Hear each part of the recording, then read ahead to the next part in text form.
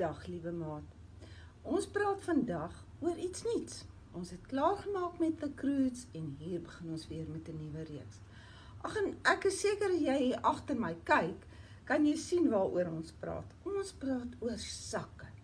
Nou almal van julle weet wat 'n sak is. Sakke is mos iets waarin jy iets sit. Nou, as jy winkel toe gaan, kry jy 'n sak om iets in te sit. Maar ons weet ook van rugsakke. Rugsakke is wanneer ons dalk gaan stap of ver weg gaan of dalk dra jy jou skooltas op jou rug soos 'n rugsak. En dit is waar ons goed pak wat ons nodig het en wat ons saam met ons wil vat. Nou kan 'n mens partykeer daai rugsak kan 'n mens partykeer so vol pak dat hy jou rug seermaak, dat dit moeilik is om te loop en dit glad nie lekker is om hom te dra nie. Maar ons kan mos altyd 'n plan maak. Ons het mos gesê, die Here is goed vir ons. Hy help ons altyd om planne te maak. Nou, as daai rugsak so swaar is, nou maak my rug seer, wat doen ek? Ek pak hom uit. Ek haal die goed wat onnodig is uit. As jy jou skooltas vat, as jy al die boeke wat jy nie nodig het vir die dag nie, uithaal, dan is jou tas ligter. Maar as jy alle skoolboeke wat jy het binne in jou tas wil sit, gaan hy te swaar wees, né? So kies ons wat ons in ons tas wil sit. Nou maats, ons het almal 'n hart en 'n brein. En weet jy wat? Daai hart en brein van jou is amper soos 'n rugsak. Ons lewe elke dag. Dinge gebeur.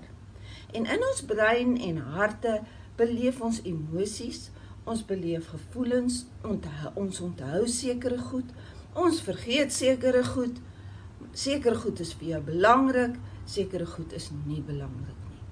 So het ons ook 'n brein en 'n hart wat soos 'n rugsak volgepak is met al die dinge wat ons in die lewe beleef. Partykeer is daar nie goeie emosies nie. Jy is dalk bietjie jaloers op 'n maatjie wat 'n beter selfoon as jy het of wat beter doen in die toetse of wat nuwe klere het wat jy dalk van hou Of wat jy sommer net dink jy wou ook so iets gehad het soos wat hulle het en jy kan dit nie kry nie. Of partykeer is ons kwaad vir iemand. Iemand sê iets en nou bære ons daai kwaad in ons harte. Partykeer kyk ons na ons maatjies en ons dink ons is beter as hulle. En dit is ook nie reg nie. Dit is die goed wat ons moet uitpak uit ons brein en uit ons harte want dit maak ons ongelukkig. Dis nie goed vir jou nie. Dis nie goed om heeldag kwaad of jaloers of hartseer te loop met so iets in jou hart nie. Nou kom ons dink bietjie wat het in die Bybel gebeur. Daar julle ken almal die verhaal van Josef. Nou Josef was mos 'n boetie van klomp ander boeties en een oggend het hy net bietjie meer van homself gedink. En hy staan toe op en hy sê vir hulle, "Weet julle wat het ek gedroom? Ek het gedroom julle buig almal voor my. Nou kan jy vir jouself dink as mens so iets sê, mens buig mos voor 'n koning, dan gaan sy boeties gaan nie daarvan hou nie. Hulle wil nie voor hom buig nie en hulle het kwaad geword vir hom. Hulle het kwaad in hulle harte gebêre. En die volgende keer toe hulle kan en 'n kans kry, toe gee hulle hom vir mense wat hom na 'n ver land weg toe vat. Maar Josef was nie alleen nie, maats. God was by hom elke dag, elke oomblik, want God het 'n plan met sy lewe gehad. En hy het Josef daar in die verland Egipte gehelp met drome sodat hy onder die koning se aandag gekom het en die koning vir hom 'n belangrike werk gegee het om kos bymekaar te maak vir hulle land en toe word hy soos 'n koning. Sjoe, en nou was hy 'n baie belangrike man. En so gebeur dit dat sy broers by hom kom kos koop. En wat doen 'n mens as jy by 'n koning kom? Jy buig en daar word Josef se droom waar. Sy broers buig voor hom. En nou sy hartseer, maar hulle het hom nie herken nie, maats. Weet julle in Egipte in daardie tyd het die konings baie anders te gelyk as die ander mense. Hulle het krones op hulle koppe gehad, goue bande om hulle nekke en hulle arms swart strepe om hulle oë. So hy het heeltemal anders te gelyk en hulle het mos nou nie gedink hulle boetie Josef sal daar wees nie, né? So het dit gebeur dat sy broers vir hom buig, kos by hom koop en toe gaan hulle weer terug na hulle land toe.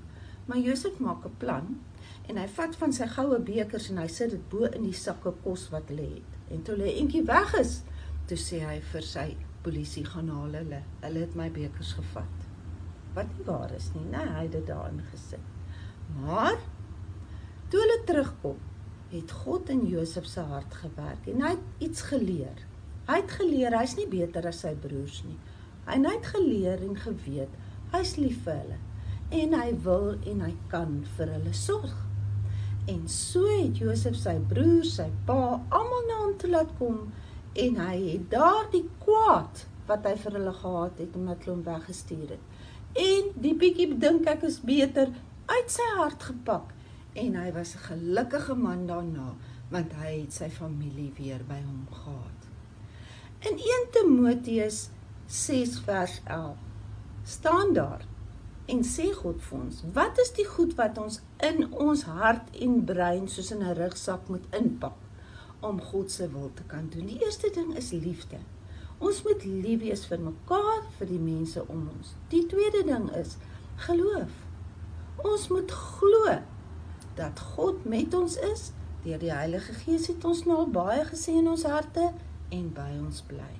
Die derde ding, ons moet omgee vir mekaar. God wil dit hê want God gee vir ons om baie.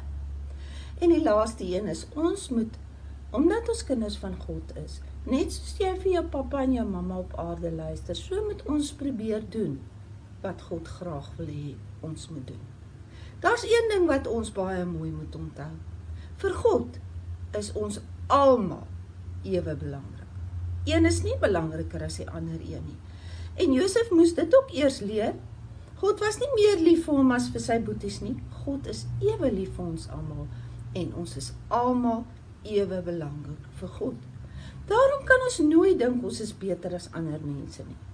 Nie omdat ons dalk iets kan doen beter as hulle nie. Jy kan dalk vinniger hardloop as jou maat, maar dit maak nie van jou 'n beter mens nie. Jy hardloop net vinniger. Of jy kan mooier sing. Dit maak nie van jou 'n beter mens nie. Jy kan net mooier sing. So kan ons almal verskillende goed doen wat ons dalk beter as iemand anders kan doen. Maar dit maak nie van ons beter mense nie. Ons het nou nou oor selfone gepraat. Jy het 'n maatjie het dalk 'n vreeslike mooi nuwe selfoon. Maar dit maak nie van hom 'n beter mens nie, né? Die liefde, die omgee, die geloof is die goed wat van ons beter mense maak want dis die goed wat God wil hê wat ons in ons harte moet sit. Want dan is jy gelukkig. Dis die goed wat ons gelukkig maak, nie al hierdie ander goed nie.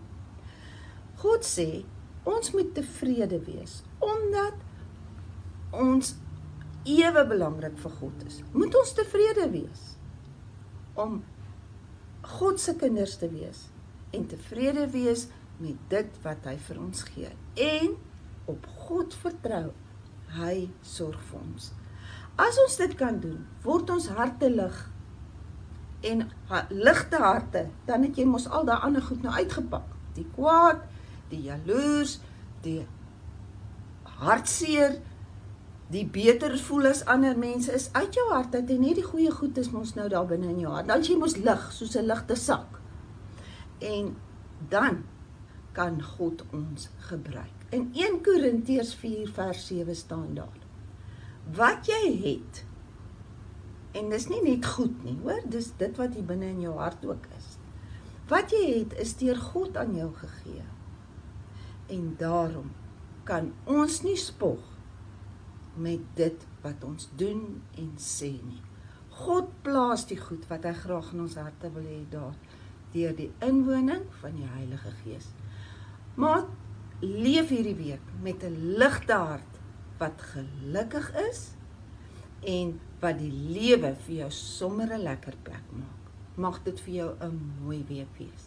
Totsiens, tot volgende keer.